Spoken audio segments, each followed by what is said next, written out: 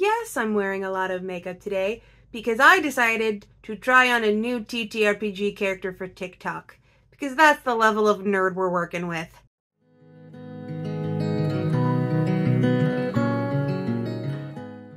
Hello, my name is Margaret Adelle, and welcome to another indie book review.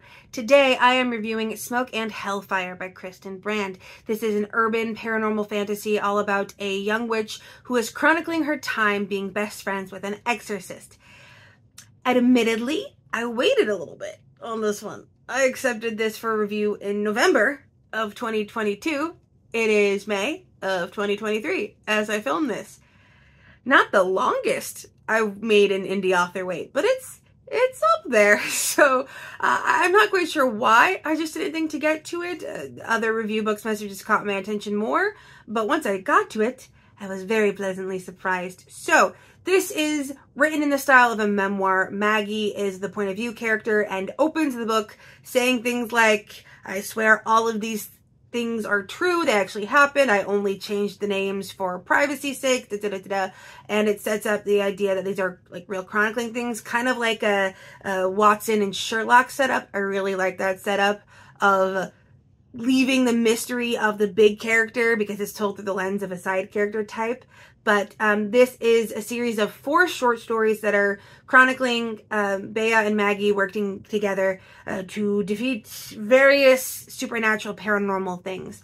Um, they first meet in the first story when Maggie's best friend, or I guess very close older witch friend, dies supposedly of an aneurysm, and Maggie goes to her friend's house to give her condolences and feels a dark presence and thinks it might be a demon that had something to do with her friend's death.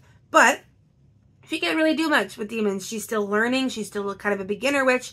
And so she calls a contact that she finds among her friends' uh, records and meets Bea. And so the first story, right out of the gate, is a literal exorcism. Um, thankfully, the stories switch up a lot as things go on. There are things with the Fae, with ghosts and a bunch of other stuff.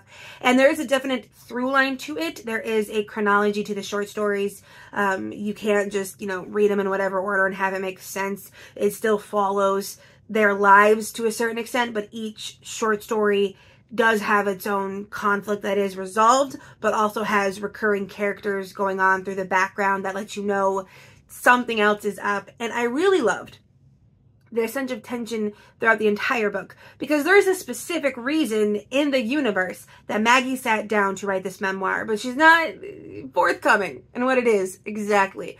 We know from the very first pages something has happened to Bea. Something at some point was a really big thing and and Maggie hints that she's in danger and doesn't know how to save her, but for some reason these memoirs will help maybe set the record straight.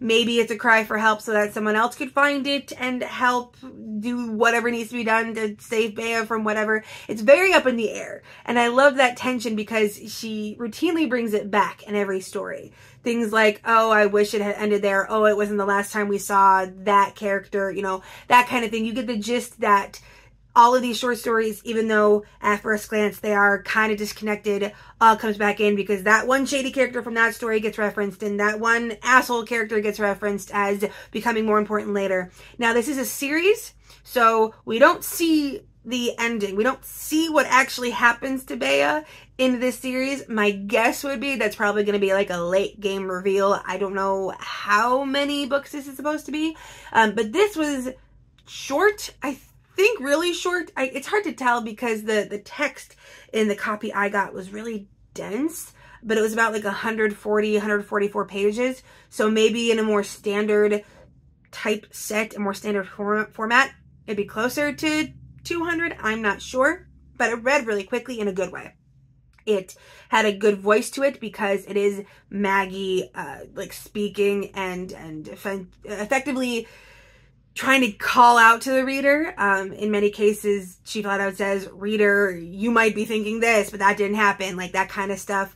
Um, you also get the gist that in the world of the narrative, Bea has a specific reputation and Maggie is aware of that reputation. And so she's writing to people that are aware of that reputation. Like it, it definitely feels like you're reading a, a memoir of someone, um, but I love that ongoing tension. Um, the stories themselves were varied enough. It wasn't all just demons. It was a bunch of different stuff. I loved all the mysteries around both of our main characters. Uh, Bea very clearly has something going on. You, you learned about that in like the first story. Like, how can you do that? And she's very, uh, cagey about who or what she is. And, uh, Maggie has, uh, various secrets around her family and her time with a local coven of witches that she like hates, considers them all posers. Uh, so they both have a lot of secrets that they don't reveal to each other. But I really did like the friendship between them. Uh, I particularly like, there's one point where Maggie is like, you know, talking with a client that's distraught and, and she's like, do you want tea? And the client's like, I don't have any tea. And Maggie's like, oh, I have tea. And Bea's like, you carry travel tea with you? And Maggie's like, yeah, what? Like it's weird. Just that juxtaposition of uh, Maggie is definitely the cottage core long skirt girly, which as a fellow long skirt girly, ironically also named Margaret, uh, I stan, I I vibe with Maggie a lot, uh, and Bay, uh, Bea, I'm not sure exactly. There's so many different ways to pronounce the nickname B-E-A. I'm going with Bea because I think that's the character is uh, Latina, and, and I'm going with the more Latina standard pronunciation of that nickname.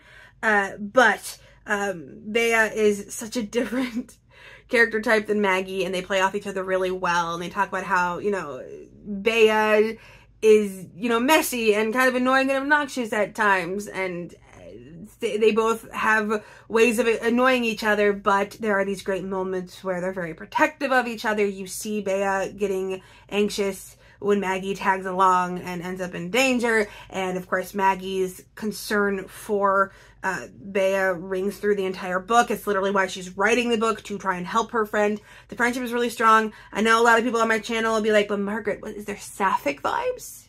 Are they? I don't think so. That's not the gist that I've gotten. Um, at least not from here. I think it is just a friend thing. Not that I would be upset if it became something more obviously. but I think, at least at this moment, it's just a friend thing. They're just good friends and roommates and care for each other in that way. Uh, but I did like it. I almost wish it was a little bit longer, although I, it didn't necessarily feel like a lot was missing. Like you got enough with each of the short stories. Uh, maybe I was just really hoping to get more of the secrets because it feels like most of the questions were just asked and none of them were answered necessarily in this one. So I would have liked it if we had at least one secret answered or one mystery revealed, what have you, uh, to tide us over until the next book when presumably some secrets will be revealed. I don't know. I really did enjoy this one. I gave it five stars. Big fan. Highly recommended. I'm sorry I waited so long for it, but hey, at least the author got the fancy makeup version of Margaret in the video. Not many authors get that. Thank you so much for watching, uh, and thank you so much for dealing with my weird makeup face. Uh, but regardless, with nothing else to say, I hope you have a wonderful day and a marvelous tomorrow.